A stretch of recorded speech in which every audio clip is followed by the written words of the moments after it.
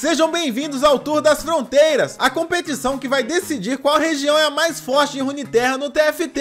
E não é só isso não, serão 20 mil reais de premiação para os primeiros colocados. E aí, vai ficar de fora?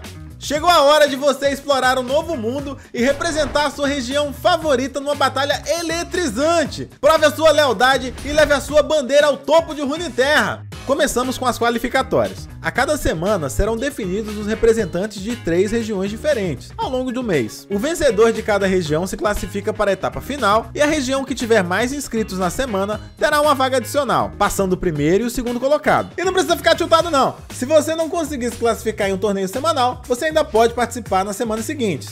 Na etapa final, os 16 classificados serão divididos em dois lobbies. Os quatro primeiros de cada um se classificam para o lobby Upper e os demais vão para o Lower. Os quatro melhores do Upper garantem a vaga direta na grande final. Já os quatro últimos vão disputar a repescagem junto com os quatro primeiros do Lower. Na repescagem, passam quatro jogadores para defender suas respectivas regiões junto aos quatro já classificados para a grande final.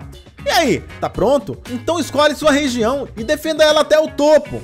Não fique de fora dessa! Enfrente os campeões de cada região em busca da glória final e por 20 mil reais em premiações. Acesse o site tourdasfronteiras.com para se inscrever e assista aos jogos ao vivo nos canais oficiais da Riot Games Brasil.